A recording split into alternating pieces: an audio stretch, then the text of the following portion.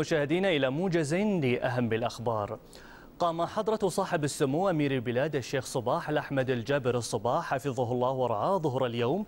وفي معيته سمو ولي العهد الشيخ نواف الأحمد الجابر الصباح حفظه الله بزيارة إلى مسجد الإمام الصادق بمنطقة صوابر وكان في استقبال سمو رعاه الله وزير العدل ووزير الأوقاف والشؤون الإسلامية يعقوب عبد المحسن الصانع. حيث تفقد سموه حفظه الله إرجاء المسجد.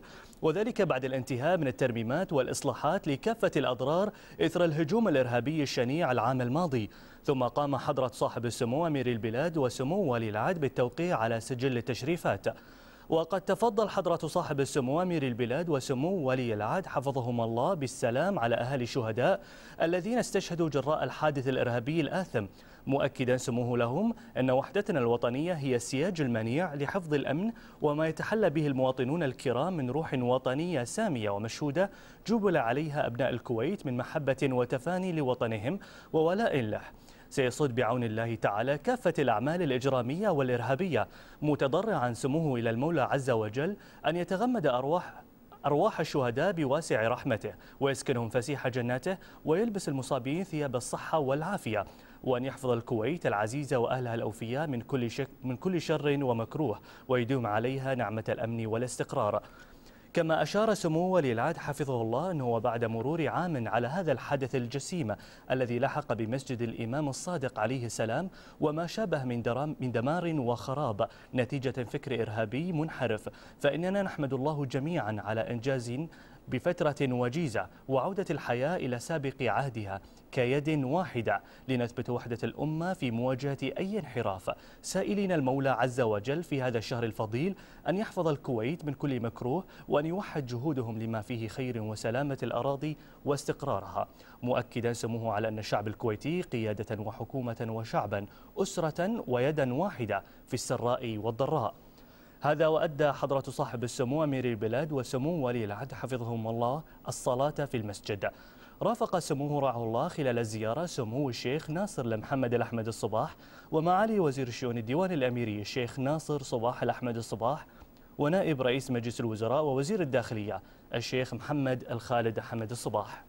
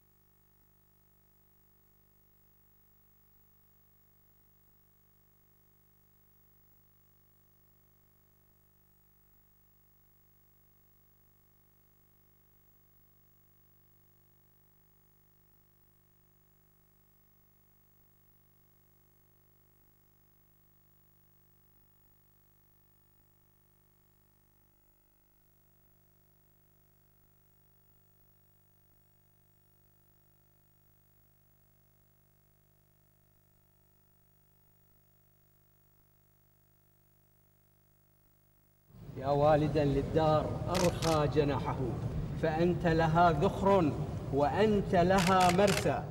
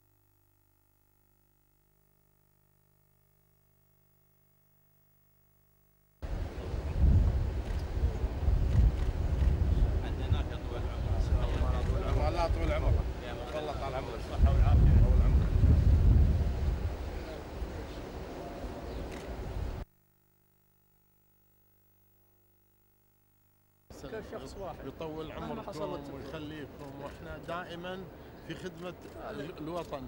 أنتم ما شاء الله مظلة. كلهم مظلة. عن مو بس على. الكويت حتى على المنطقة. واحدة الله- كلها. الله ما في. يحفظكم. في من يريد أن يفرق بين ابد ما حد يقدر. طال عمرك. وجودك طول. العمر أنت والشيخ. الله لا يحكم مكروه إن شاء الله.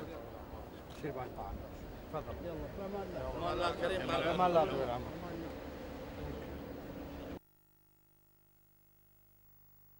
اللهم احفظ الكويت وأهلها من كل مكروه. مشاهدينا الكرام وصلنا إلى ختام هذا الموجز. في أمان الله.